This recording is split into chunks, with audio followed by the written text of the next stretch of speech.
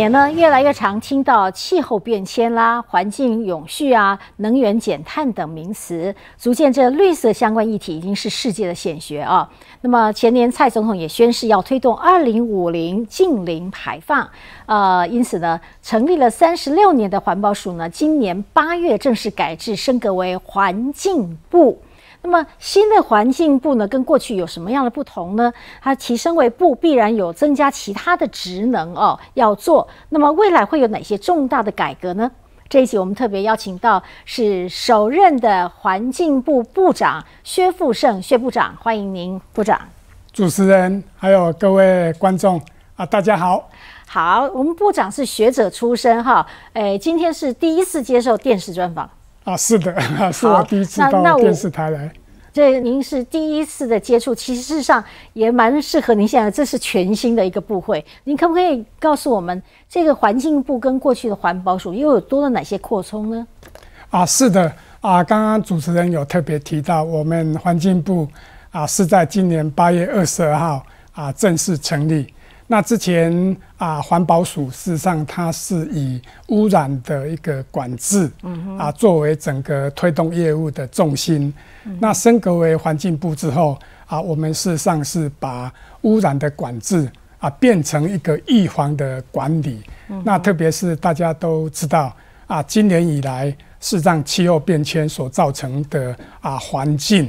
啊的冲击是非常非常的大。我们看到啊，包括巴拿马运河因为干旱，使得这个船只的航行受到限制。我们看到夏威夷的大火啊等等啊，这些很多的现象哦，都是过去所没有。那环境部啊，在八月二十号成立之后，事实上我们主要的任务啊，就是来面对。啊，气候变迁所造成环境的冲击，我们要来积极的解决。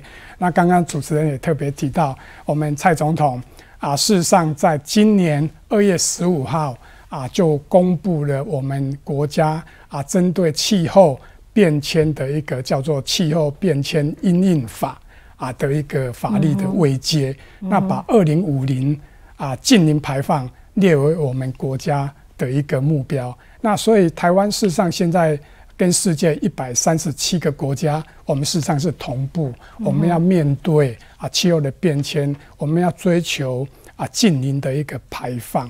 那当然除了气候变迁的这个议题之外，事实上环境部还有一个非常重要的责任，就是我们要做资源的一个循环。我们大家都知道，我们在过去啊我们的经济运作模式是所谓的线性经济。什么叫线性经济？就是我们在以往啊，都是从啊地球啊地底去开采这些，不管是石油啦，不管是矿产。嗯。那之后呢啊，经过生产，经过制造，那变成产品，那到消费者手上。嗯。那消费者用完以后，或者东西坏掉了，就丢弃。所以就变成很多的废弃物，所以我们要变成要去处理这些废弃物，连这个都要处理。那您就提到这个资源循环的再利用，哈，好像也要透过立法。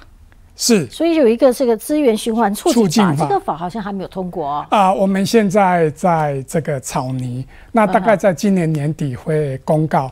那希望说啊，明年啊第一季啊就可以正式通过立法院的。啊，一个立法程序。如果通过这个立法，就是要弥补现在必然有什么不足的地方吗？啊，是的。事实上，我们现在大家都很熟悉嘛，哈，就是说废弃物的清理啊，已经在做了。那另外一个是资源的循环，我们也在制作。但是呢，这里边还是维持以前所谓的线性经济的概念，那没有从源头去把啊这些啊这个材料去做减量。所以你会看到我们啊，陆陆续续还是这个垃圾一直在产生，哦，并没有办法去减少源头垃圾的这个量。那我们这个资源啊循环促进法最主要的目的就是我们要把我们以往线性经济的概念变成一个循环的经济。好，上游的啊这个产业它所生产的，除了它的产品之外，可能还会有一些副产物，甚至是所谓的废弃物。那这些废弃物很多事实上是可以再利用，它很可能这个上游产业的所谓废弃物，事实上反而是下游产业的原料，嗯哦，那接下来这个原料又可以制造成新的产品，好，那这个新的产品之后呢，去利用，那它可能又制造另外的废弃物，又变成下一个产业的一个。材料，所以它是一个循环的概念。垃圾是大家都不太想要的，所以您讲的这样的循环哈，就是会有上游、中游、下游的循环。对，那这个愿愿意有足够的产业或者人力会愿意投入这个垃圾的循环使用行业吗？事实上，这个就是一个经济的啊一个运作的模式哈。我举一个非常简单的例子哈，我在当学生的时候，嗯，好，在一九八零年代哈，那那时候哈。我们在大学读书啊，那时候台湾还比较没有重视所谓智慧财产权的概念，所以我们很多的书哈，说真的，那时候都是倒印版。所以同样的书，我们在台湾买倒印版，一本可能大概一百块、两百块台币。可是那个原文书在美国啊，假如换算成台币，可能要卖到三千块、四千块。所以当我一九八五年到啊美国留学的时候，我们我们就看到很多的所谓二手书，嗯哼，好，那为什么二手书会在美国非常流行？就是因为它的新书原版的非常贵，好，那这些原版的书用完第一年用完之后，事实上大家都会拿到。书店再去卖，嗯哼，那书店的老板就把它买起来，然后接下来新生来就买二手书，它的价钱很可原来的十分之一，这也算是一种资源，所以就是这种概念，哦，所以没错，事实上台湾过去这一段时间哦，也一直在推所谓的包括共享经济，哦，就是说这个也是资源循环里面非常重要的精神，就是说我们将来很多东西可以用的。我们就尽量去用，所以在我们资源回收里面的第一步，我们事实上是要鼓励所谓的再使用。好，譬如说，好，我们主持人，你家里有一些包括家具、包括电脑、包括这些这个电子产品，你很可能每一年就想要换新的，那但是它功能还很好啊，哦，那它就可以拿到所谓的这个二手的。啊，这个市场去卖，当然它的卖的价格就会比较低一点。那有些人就会去买这些东西，因为哦，比如说像啊年轻人，他很可能就说，因为整个收入啊不会啊没有那么高，所以我哎二手的功能也还很好啊。哦，所以事实上是这种一个再使用的概念，而且这听起来是蛮经济的哈。那您您提到的这个资源的循环呃促进哈，这另外新的有一个名词出现了哈，有些人就觉得不是那么理解哦。这一般人会不会被磕到？就是这个资源循环促进费，等于是要征收一个费用了。资源循环的促进费，谁来缴这个钱？它这个会不会很贵呢？啊，这个价钱。贵不贵？事实上，我们现在还在这个草泥当中。我们到时候会有一个啊资源循环管理委员会，他们来决定。那一般民众事实上不用去担心哈，因为我们将来是要赋予生产者有这个责任。好，就我们刚刚讲的，好，你生产这个产品，那这个产品除了啊它本身之外，可能会有所谓的啊事业的废弃物。那这个生产者他就要对处理这些废弃物要负起责任。嗯哼，他甚至当然他可以去跟他下游厂商做结合，因为对下游厂商搞不好他是一个很好的啊这个啊原料。哦，所以他事实上是可以把这些原本视为废弃物。变成有价值的东西卖给他的下游厂商，那他假如没有办法找到合适的下游厂商，那他必须要用废弃物处理的方式。那这时候我们就会征，就会这个征收他的所谓的废弃物啊这个处理的一个费用，因为毕竟啊产生的这些废弃物必须透过啊政府组织的运作来找出合适的厂商愿意。来把这些废弃物处理掉，或者再利用，好，所以事实上它是一个啊经济的手段，来让我们在资源的回收方面啊可以获得诱因，那大家愿意去投入，好，所以这个就是环境部。那就是说，呃，如果要这个资源的这个处理的话，哈，那那个厂商是自己做的划算，还是缴这个费用比较划算？呃，他他自己会去衡量，因为台湾是一个啊自由的经济市场哈。那很多东西当然就是供需的问题啊，供需的问题在刚刚开始的时候，事实上政府有责任给一些诱因。然后我举一个非常简单的例子，事实上台湾今年再生能源啊占我们整体整体发电量的比例已经到达十 percent。嗯哼，这个在之前我们在啊我们政府在推动。再生能源那时候单价都很高，对不对？那政府就透过啊来补助、来协助台湾来发展再生能源。我们现在看到，哎，我们的再生能源既然可以拉到啊将近十 percent，每年到今年为止，大概每年风电跟光电市场有将近十五个 giga 瓦哈。那开始的时候，一定是要政府要投入一些诱因来鼓励产业愿意投入这一块。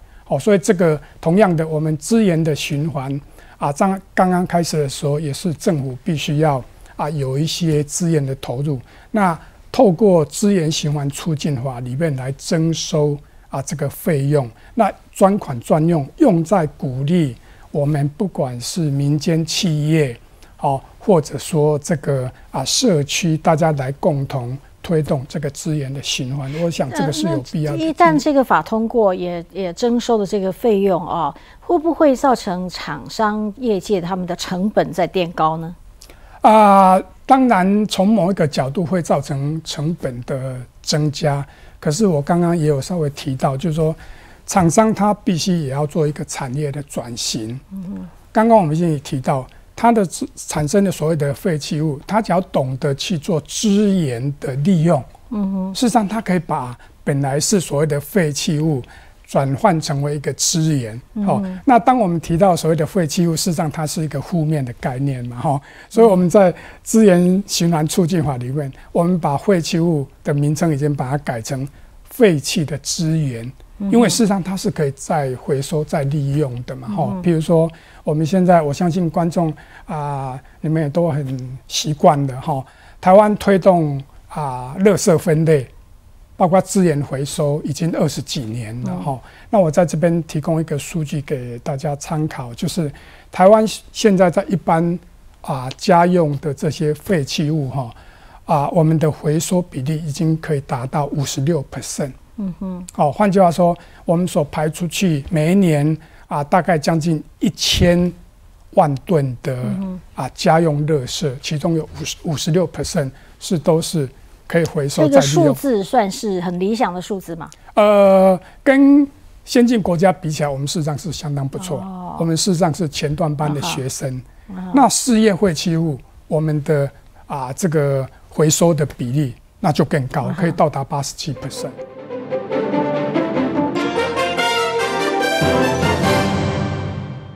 欢迎再回到新闻观测站的节目现场。今天我们的节目呢，独家专访是首任的环境部部长薛部长，在我们节目当中呢接受专访。好，部长刚才谈到这个呃废弃物的再利用跟这个呃还有这个征收费用啊，会让人要想到这个碳费。好，这个碳费的征收好像各界也蛮瞩目的，因为也是就说希望大家能够在这个碳这部分呢，能够有更好的这个解决哦。那这个碳费的费率有没有制定好了呢？啊，碳费的费率事实上啊，我们的气候。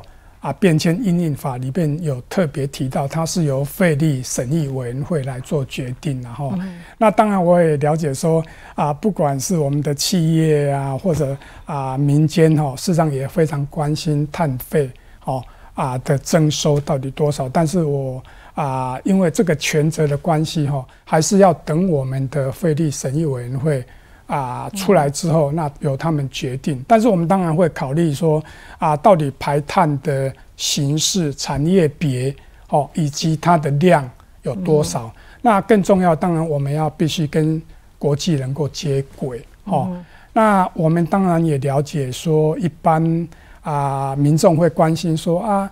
政府征收这个碳费之后，会不会厂商就会转嫁给消费者？好，这个我们也希望说，未来这个费率审议委员会要纳进去考量。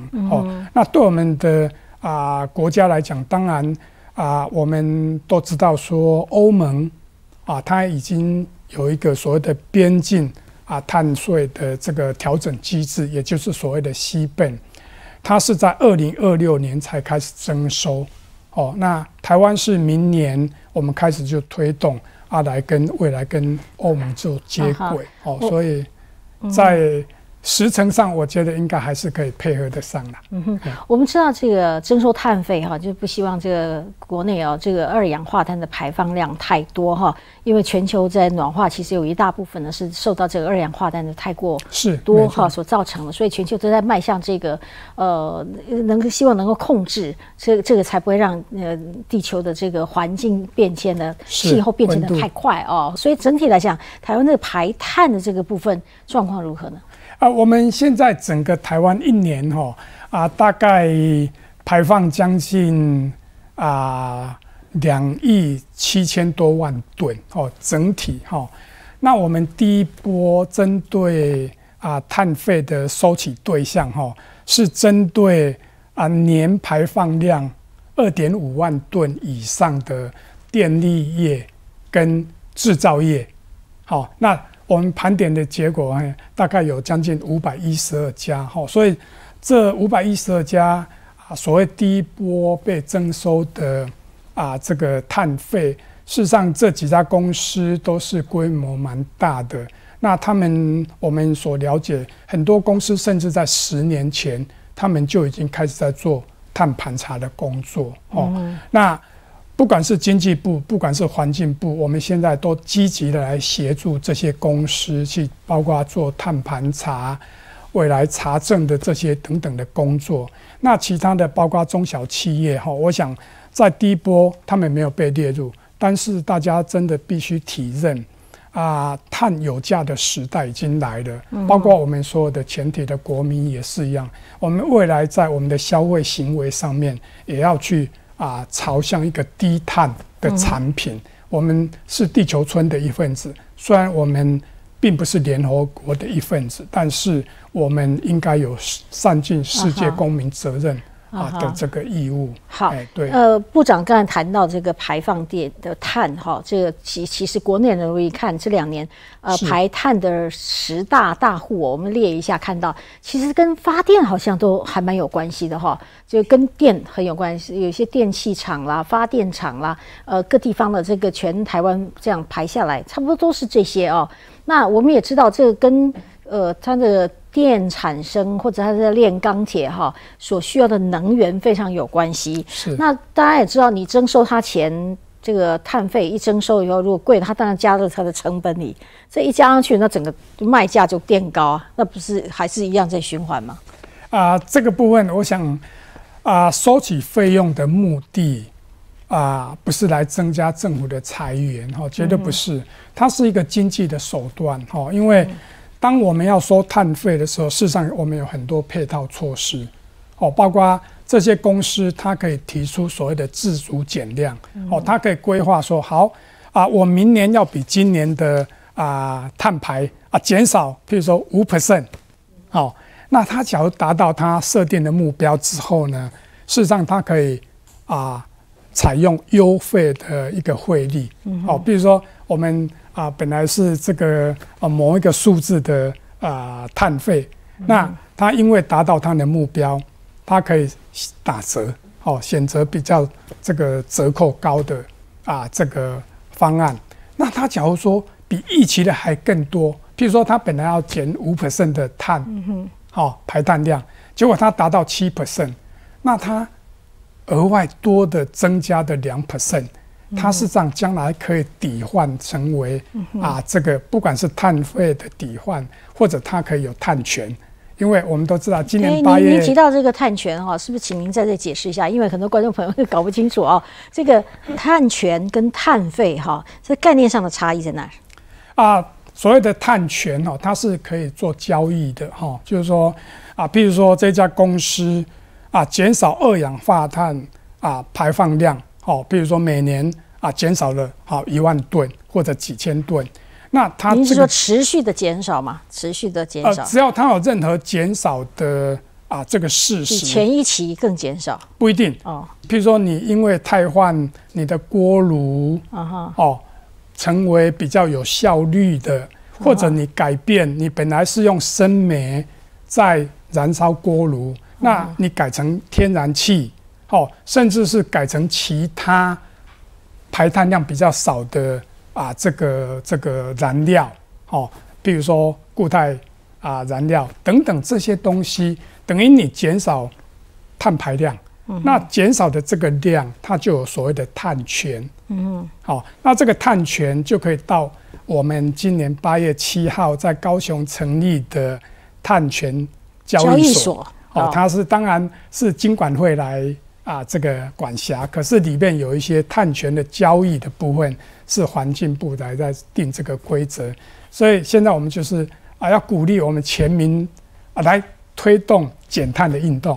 那减碳的这个结果就获得碳权，事实上是这样子。在减碳哈，如果是这样讲，就减少像这种大型的燃烧，尤其像我们刚才提到这个电力发电的问题，所以台湾应该这个利用绿能哈产生的水风电啦、哈太阳能等等哦，地热产生的电呢，应该以后总生产比例应该达到多少才是台湾未来的出出口呢？呃，在二零五零年。我们很期待说，再生能源占的比例可以六十到七十 percent，哦，可以达到那么高。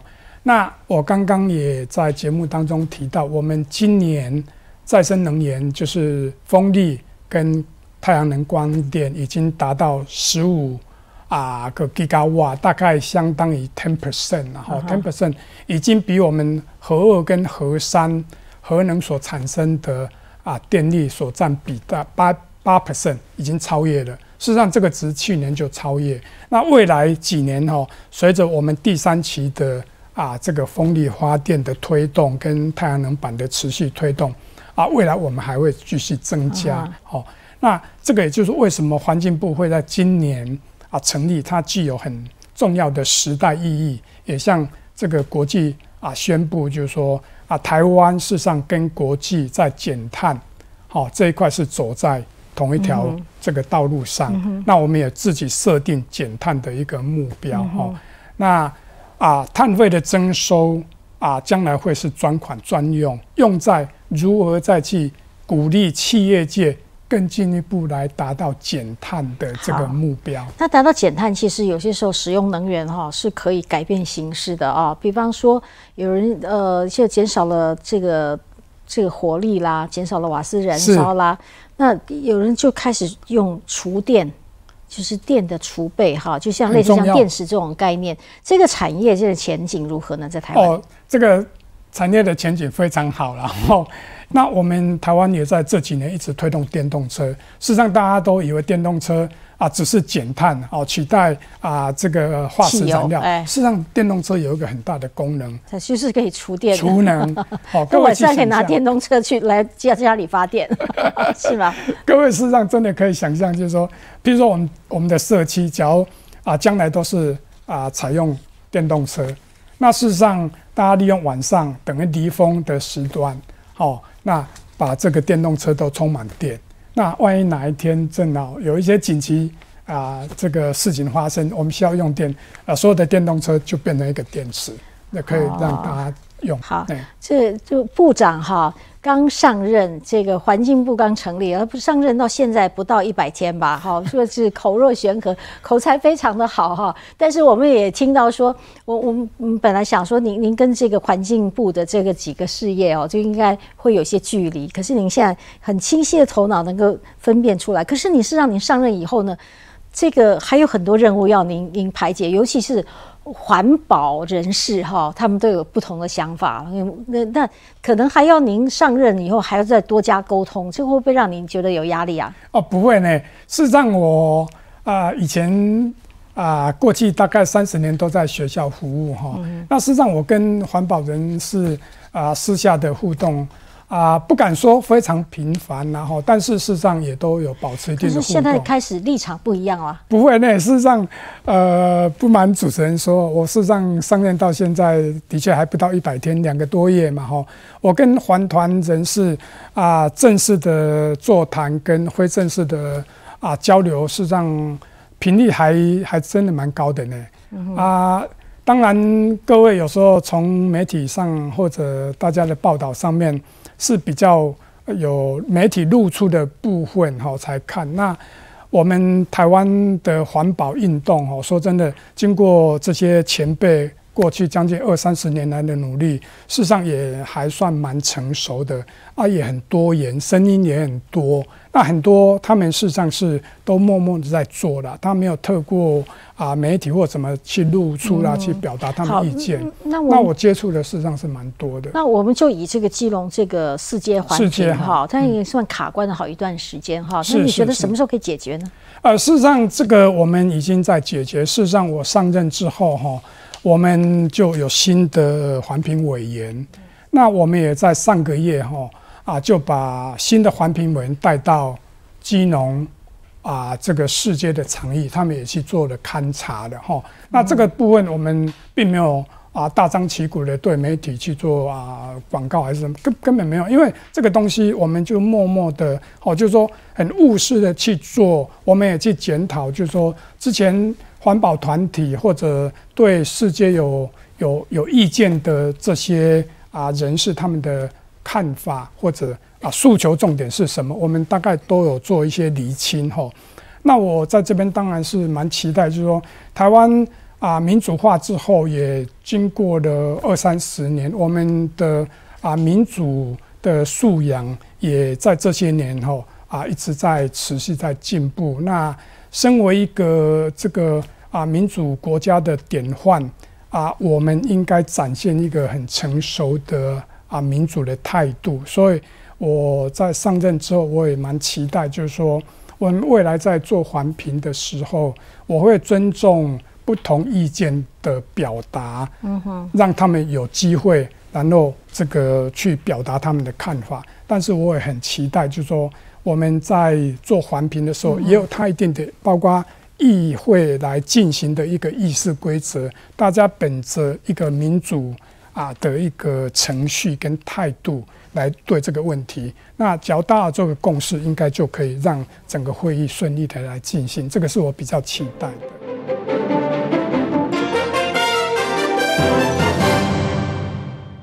欢迎再回到新闻观测站的节目现场。我们这一集节目呢是独家专访啊，环境部首任部长薛富盛薛部长啊，呃，部长把这个这个新的概念啊都讲得非常的清楚。可是我们知道，部长算是学这个材料科学的哈，是跟这个环境部有。有部分重叠，但是有一部分也有一大部分是不一样的，所以很多人对这个部长薛部长是很好奇的哦。所以我们在今天您上了节目，我们要挖掘一下，也帮观众朋友介绍一下您好不好？部长来自于非常天然的澎湖啊，啊是的，您是澎湖小孩，那谈谈您您的出身好吗？呃，其实我是一个真卡囡仔吼，我伫澎湖出世。哦，讲台语，哦，我讲台语会使啊。其实我讲台语够够偏 Q 哦，我讲偏 Q，台语够是偏 Q 哦。啊，我伫偏湖啊出生啦啊，成长哈，包括我高中我都是读马公高中的。哇，你没有？我听说好多澎湖小孩也专程跑到高雄去念书啊。哎呦呦，那时候包括我大学联考，事实上都必须到高雄。啊，林雅国中考大学联考，我到现在记忆都还非常的深刻哈。我妈妈陪我到高雄林雅国中考联考哈。那听说您高中成绩、大学成绩都非常好，全校第一名哦。啊，不敢。啊，成绩当然是在那时候啊，是一个努力的目标嘛哈。那时候的社会也很单纯哈。啊，身为学生，主要的任务就是读书嘛哈。那事实上，我的童年跟别人很很不一样哈。我爸爸开铁工厂，那我叔叔开食品行，所以我从小事实上也帮忙叔叔做啊蛋糕啦，这些面包啦，哈，你会做啊？西点哦，我都会。然后呢，这个我爸爸的这个铁工厂，我利用暑假去帮他们打工啊，这些我的都都有。会啊？那您现在会不会做菜啊？啊，事实上我做菜倒是我太太比较行嘛。我事实上我在美国康乃读博士的时候哈。那我当然很幸运，我在一九八五年出国。那啊，很幸运的是说，以往到国外去留学哈，事实上配偶不能跟着出去。嗯哼。那正好我要出国那一年哦，啊，政府开放，所以我比较幸运，就是跟着太太就带着一起出去去。读书。不过那我我们好奇哦，您您其实您这个念书不是直接学校毕业就呃留学，早年很多人就说就一毕业就申请到国外去，可是听说你是先就业，是。先就业，当时是先到中因为钢，中钢，我先哦到中钢，因为哈、我我是一个乡下小孩子嘛哈、那乡下小孩子说真的，这个对出国我们真的是没什么概念。啊哈，包括很糗的，就是我大学的时候参加舞会，我我第一次参加舞会，事实上也是这个大开眼界哦，因为我觉得台北的啊这个风气当然比较开放，我们很多同学他说啊，我们高中的时候就老早就参加舞会了。那我在马公高中从来没有参加过舞会嘛，所以包括那个部分，事实上现在回想起来，好像觉得这个也也很可笑，就是说，哎，见识方面大大概的确跟台湾本岛的啊小那孩子就不一样。您就业了多久才决定说，哎，应该出国深造呢？事实上，我是到中钢公司工作两年了哈，当然啊我也服完兵役，服完我在台中清泉岗海军陆战队服役，海军陆战对，队啊，我是海军陆战队的队员，然后，那我服完兵役之后到中钢公司工作。那中钢公司工作，我那时候是负责品管的部分，然后，那我是觉得啊、那些工作比较属于例行性的工作。那我这个个人说是比较喜欢有一些创新的、有一些挑战性的工作，所以那时候工作一年之后就呃萌生这种，哎，那是不是同学都出国了，是不是也应该跟着出去？好，所以我就决定马上去考托福、考 GRE，那也很幸运，然后这两个就是考一次，大概都。成绩都还可以，然后哦那很幸运就申请到美国康奈尔哦职工博士的哦奖学金，哦那又是全额的。那事实上这个过程当中也很有趣哦，因为啊、我非常谢谢我父母亲哦，他们啊、有远见啦，他们认为说，虽然这个从中刚离职哈，因为中钢那时候待遇相当不错，嗯那我们很多亲戚朋友啦、邻里的人都会觉得说，哎，这个薛放弃很可惜。对啊，你怎么会让哦你小孩子要去美国读书啊？然后这边一个好的工作哦，所以我非常佩服我的，特别是我妈妈，去鼓励我应该出去 呃这个啊进修攻读但是你是确实啊出去念书也念得很好，Cornell 大学拿到了博士。这个博士学位拿到以后，你大概就知道你你要从事教职工作。啊、没有这个，我拿到博士之后，我事实上在美国密西根州到 Chemical 陶氏化学，我工作了三年。哦，我工作三年，那因年际会啦，就是我在青年刚当兵的时候，正好我们海军陆战队啊有一位啊很要好的朋友，也是在当兵的时候认识的。那他住台中，那他告诉我说：“哎、中心大学又成立一个材料工程研究所，哦，那你要不要回来台湾？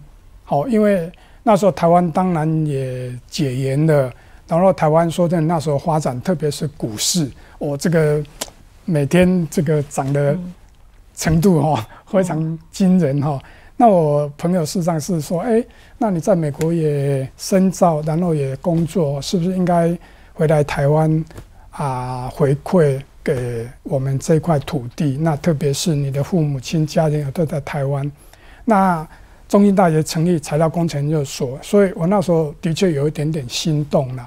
那我当然也谢谢我的太太，后来她也这个支持啊我回来。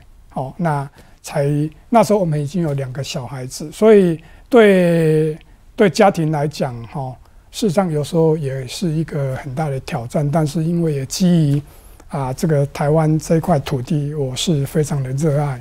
哦，那我希望说，哎啊，这个有机会回来贡献给自己的啊这个啊国家，应该是蛮值得的。所以我从一九九三年回来，一直到今年正好回来台湾。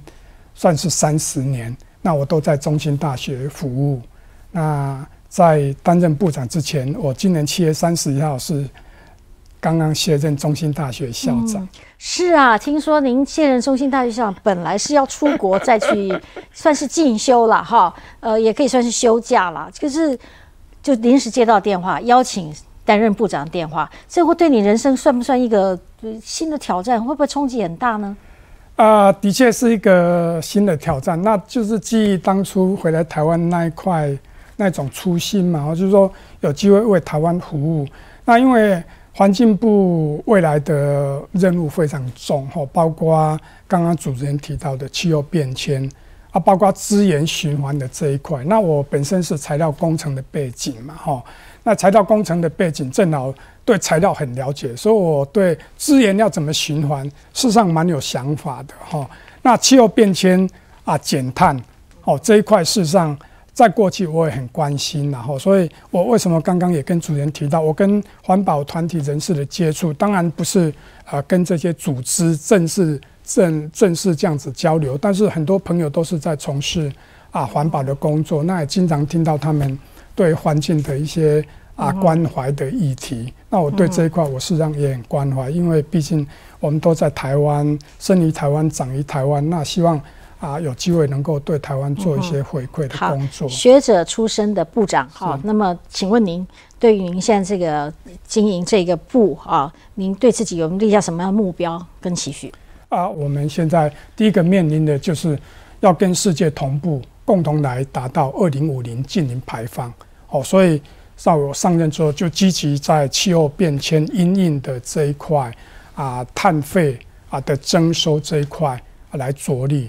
那另外一个非常重要的，当然就资源的这个循环的这一块哈。那我觉得地球的资源真的有限，我们不应该在一直在开采由这个地底下的这些资源哈。我们应该善用现有的已经有的这个资源，那尽量达到哦这些。